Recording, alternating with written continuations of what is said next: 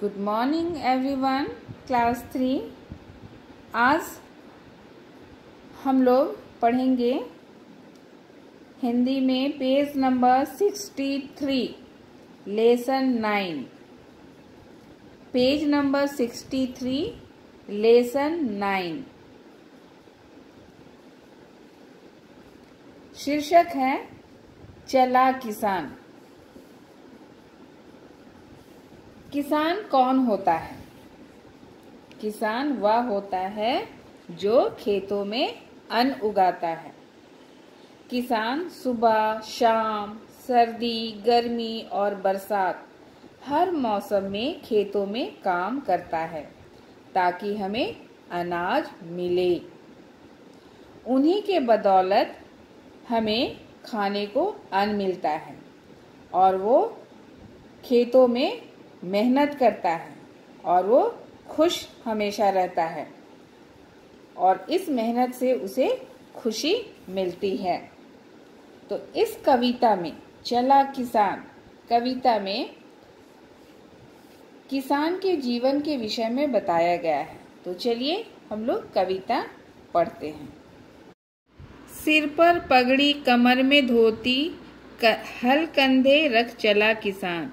बैल चल रहे आगे आगे, लगते बिल्कुल सीधे, सादे। धरती माँ की किस्मत जागे, खेती करने चला किसान, हल कंधे रख चला किसान। सर्दी, गर्मी या बरसात, चाहे दिन हो, चाहे रात। लू आंधी या झंझावात, मेहनत करना उसका काम। हल कंधे रख चला किसान। है उसका छोटा सा घर, मिट्टी का पर लगे सुघर। राजमहल से भी बढ़कर पाता उसमें वह विश्राम हल कंधे रख चला किसान। खुश हो जी भर छेड़े तान हल कंधे रख चला किसान। तो इस कविता में किसान का जीवन कैसा है, उसको बतलाया गया है। जैसा कि आप चित्र में भी देख रहे हैं। सिर पर पगड़ी है, कमर में धोती है और कंधे पर हल है।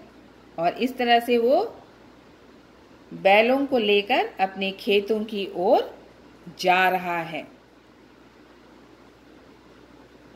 बैल किसान के आगे आगे बहुत सीधे, सादे होकर चल रहे हैं। मतलब वो अपने मालिक की बात सुनते हैं, आज्ञाकारी हैं।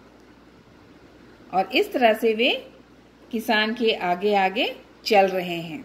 धरती माँ की किस्मत जागे खेती करने चला किसान। यानी कि किसान जब धरती पर हल जोतता है तो धरती माँ की किस्मत भी जाग जाती है। यानी कि वहाँ से क्या होता है, धरती से अन्न उपजता है है ना? सर्दी, गर्मी या बरसात, चाहे दिन हो, चाहे रात।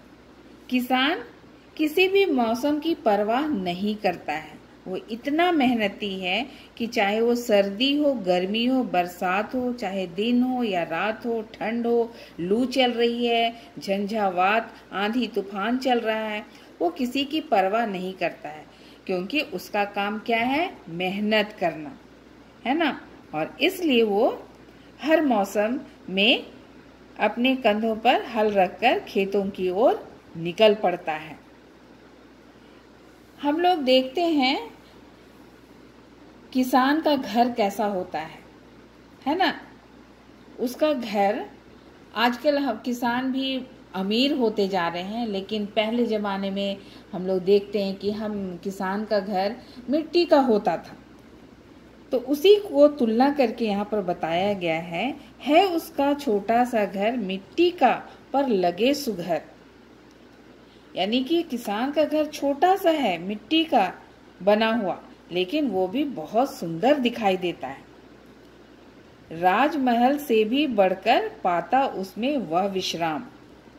यानी कि वो मिट्टी का घर छोटा सा ही है, लेकिन किसान को वह घर राजमहल से भी बढ़कर लगता है। राजा का राजमहल, जहाँ ऐशो आराम की सारी सुविधाएँ होती हैं।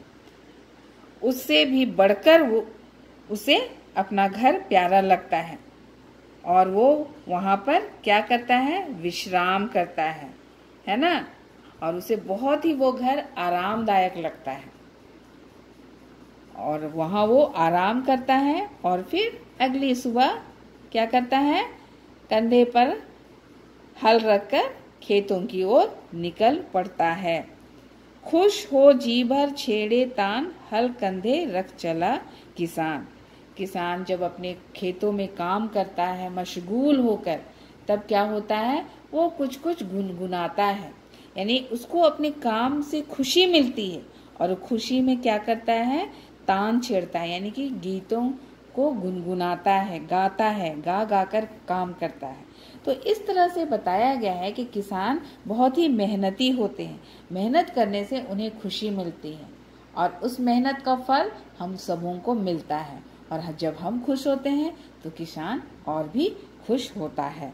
तो इस तरह से इस कविता को आप अच्छी तरह से पढ़ेंगे और आपका होमवर्क होगा। इस कविता को चित्र के साथ कॉपी में लिखना और याद करना।